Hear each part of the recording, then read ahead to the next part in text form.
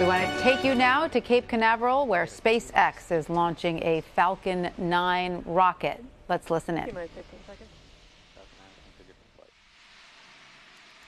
10, 9, 8, Seven, 7, six, five, five, four, four, three, two, one, and zero. And the liftoff of the Falcon 9 rocket and the Dragon spacecraft, packed with science and supplies for the International Space Station, humanity's home in low Earth orbit. And the Falcon 9 has cleared the tower. SpaceX ascent commentary is performed by several people. The propulsion Vehicles engineer calls out propulsion events. Avionics engineer calls out avionics health and Dragon separation. The range coordinator calls Air Force satellite control network acquisition and loss of signal. And the ground station specialist calls out the SpaceX antenna acquisition and loss of signal.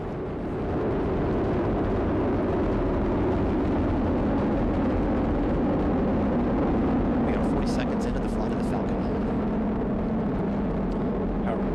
At 1 minute, 5 seconds after liftoff, Falcon 9 will reach transonic speed. The vehicle will pass through an area of maximum aerodynamic pressure called max Q. At 1 minute 18 seconds after liftoff, this is the point where mechanical stress on the rocket reaches its peak because of the rocket's velocity and resistance created by Earth's Vehicle atmosphere. supersonic. And the vehicle is supersonic.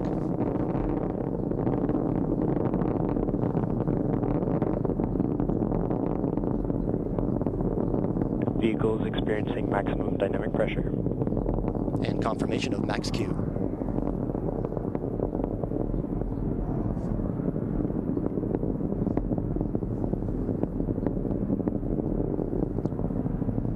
One minute, 30 seconds into flight.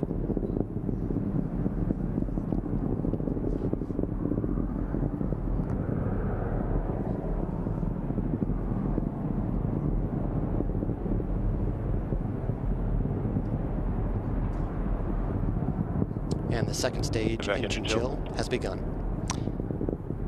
Around 2 minutes 35 seconds into flight, the nine Merlin engines will sequentially shut down.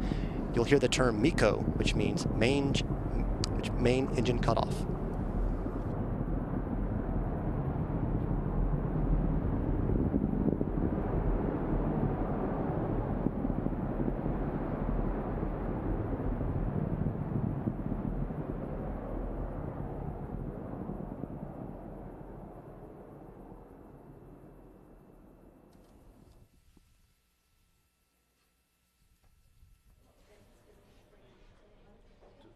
And we just saw SpaceX successfully launch its Falcon 9 rocket out of Cape Canaveral, Florida.